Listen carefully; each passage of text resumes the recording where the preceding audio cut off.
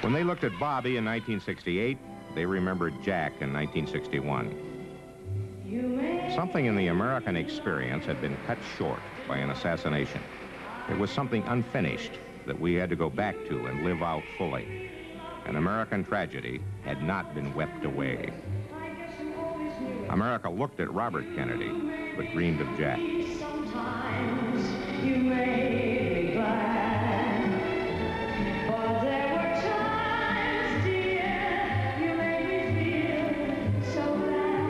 It all beckoned. It all looked so much the same. A brawling brood of Kennedys, rich, capricious. There was a Democratic dynasty all in a row, if America would vote in the Kennedys. They set the tone and captured the headlines. Yet we are not a monarchy, we are a republic, and power does not pass through bloodlines. Perceptibly, 1968 was not 1961. The war in Vietnam had escalated. The riots had torn apart the cities. There was no crown to pass on. An election had to be won.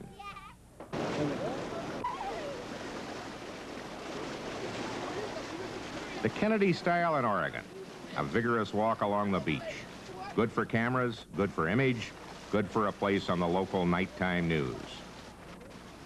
That year, all politicians felt obligated to walk near the water giving the impression that if elected, they could walk on the water. Hubert Humphrey walked at a slower and pudgier pace. His camera crew recorded his footsteps on the sands of time. Hubert, perhaps, was trying to show that if he walked with less vigor than Bobby, he was at least more contemplative. He covered up defects in the sand.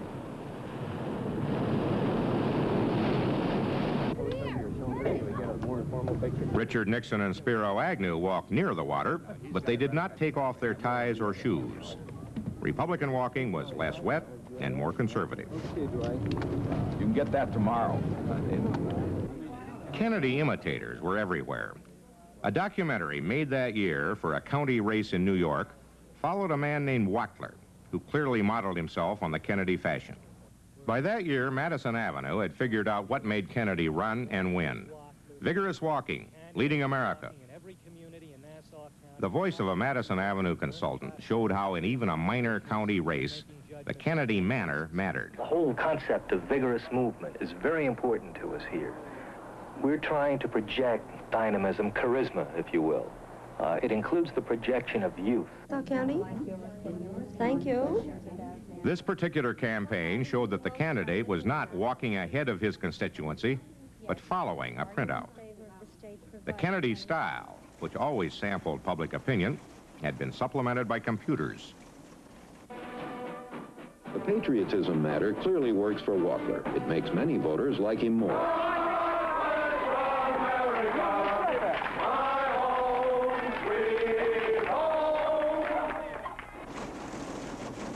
The computer said, Governor Rockefeller has held his own in Nassau County. Therefore, we recommend that he be encouraged to endorse Wachtler. We are thrilled to be here with this wonderful crowd to support and get behind of and elect Sol Wachtler, one of the really great comers in the Republican Party. the computer said, Both Republican strength and undecided voters are found among men. Tour bowling alleys when men's leagues are in session. Packaging doesn't help every product. Wachtler lost. May in Oregon. Kennedy was fighting the challenges of Eugene McCarthy and Hubert Humphrey for the Democratic nomination. The vote was being further splintered by George Wallace. Oregon was a primary that the polls showed Kennedy should not have entered. This white middle-class state did not admire the Kennedy style, and for the first time, a Kennedy lost a primary. McCarthy won. When Bobby arrived in California, he was back in a state that responded to him. California thrives on turbulence and loves legends. He won. Kennedy mounted a platform to thank his followers. Television was being watched across town by the people who least admired the Kennedy style, the McCarthy supporters. The McCarthy workers, mostly students, saw Kennedy as a man who had first led the Vietnam War and then turned against it when it was politically opportune. My thanks to all of you, and now it's on to Chicago, and let's win there.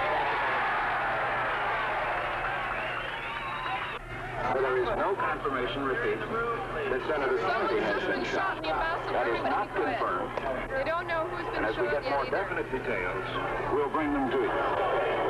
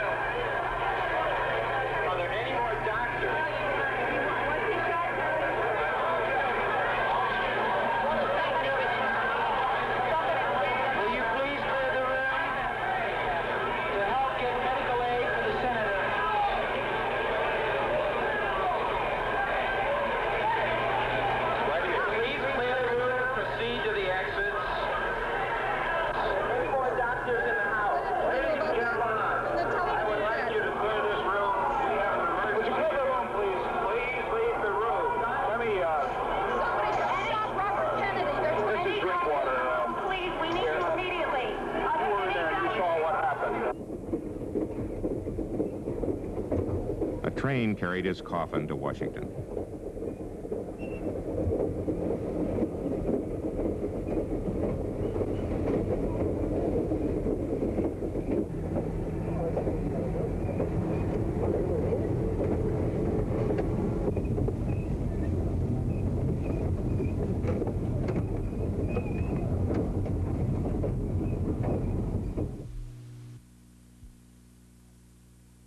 And two assassinations, three acts of violence whose shadows still fall on us today. Where we're going is to the election of Richard Nixon by way of the Democratic Convention held in Chicago during August of 68. For it was there, at Chicago, that the climactic scene of the year would occur. It was there that the styles of two generations would clash. Youth was pushing hard at age, and in 1968, age pushed back. In 1968, my generation thought many young people were barbaric, and the young savages had to be taken in hand and civilized. Young people thought Emerson was right when he said, every hero becomes a bore at last. Youth was bored with the World War II generation that was leading the country. The counterculture said, we want the world and we want it now. They tried to storm the gates of the establishment that was sending them to war in Vietnam. The forces of the establishment fought back on the streets of Chicago in August of 68. But before we go to Chicago, we have to go to college. There were more than six million college students that year, and the one fight that united most of them centered on the draft. 1968 was the year draft deferment was ended for graduate students. The movie Alice's Restaurant was about draft dodging. Millions of college students did not want to put on a military uniform. Next, Guthrie Arlo. Okay. For date of birth, you put down Scorpio. I want the specific date. Okay. Arlo Guthrie's hit song of 68, later made into this movie, dealt with some of the ways to become 4F, draft deferred. Illness was the best way out. What's this Huntington's chorea? Incurable nerve disease. And you have it. Runs in the family. It says here, do you know of any reason why you might not qualify for military service? Not your father, not your grandmother. I could get it. None. You'll hear from us. Peace. Next, Gorwitz Milton.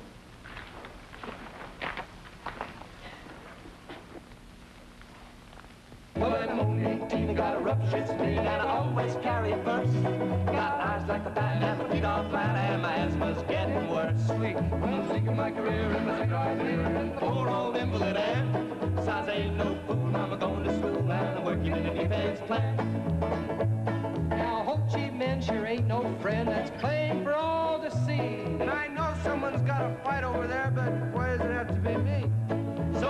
well, Sarge. Give 'em heck. I'm bound for Canada, you know. And if you ever get a war without blood and gore, boy, I'll be the first to go. But until then, Mr. McNamara. I'm only 18, I got a rough shirt's and I always carry a purse.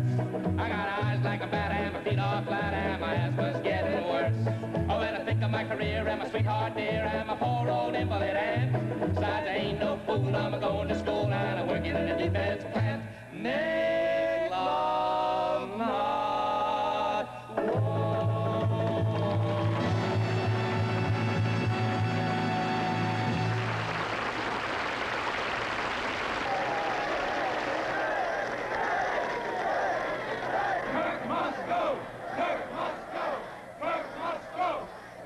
Students at 221 colleges rioted in 1968, and under every riot was the issue of the draft and the war.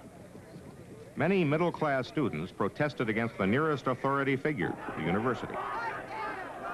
Columbia set the pattern. What the radicals did was seize five university buildings and lock everybody else out. They locked out their fellow students who wanted to get into the buildings for the education they had paid for. Though the campus was in turmoil, there was a feeling among all students that somehow college was a protected place whose values were above city, state, and federal government. The campus had to solve its problems by itself. These black and white films were made by friends of the radicals who had taken over the buildings. They never thought they were committing a crime, or if they did, they thought the university was committing a greater one by collaborating with the war-making government.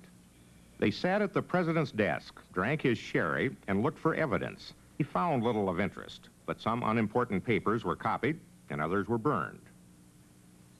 The students who were conducting illegal surveillance were themselves the subject of surveillance by the CIA. Under the law, the CIA had no right to spy on campus activities, but this memo shows they did it. It's from the CIA to the White House. Memorandum for Mr. Walt Rostow. The agency officer who has dealt with youth and student affairs in recent years wrote this report at my request.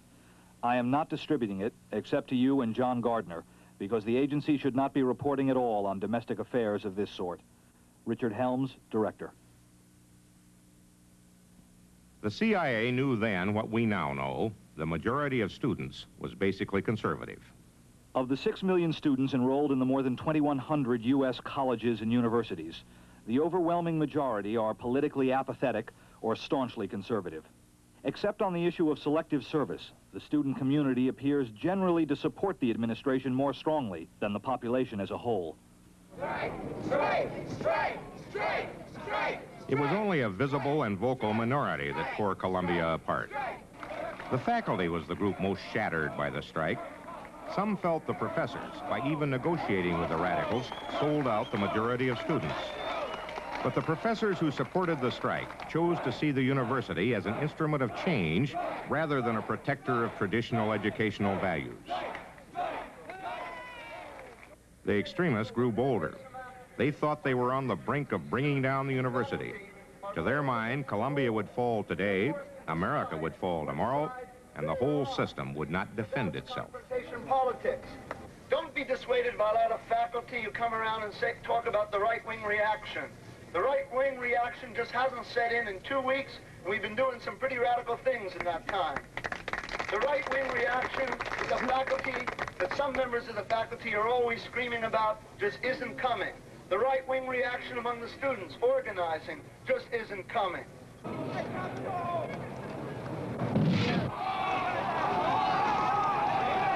Under the eyes of 300 newsmen, some thousand cops busted the halls of Ivy. When the police entered the Columbia campus and went after the kids who had seized university property, allegiances changed. A new loyalty was given in blood, not to class, creed, or color, but to generation. Blue-collar cops were too tough on white-collar students. On their side, the students felt that to be busted and to bleed on the barricades was a badge of courage. It was their duty to break the laws of a country which was fighting a dishonorable war. That's why the kids expected a lot of publicity and no punishment. Amnesty! Amnesty!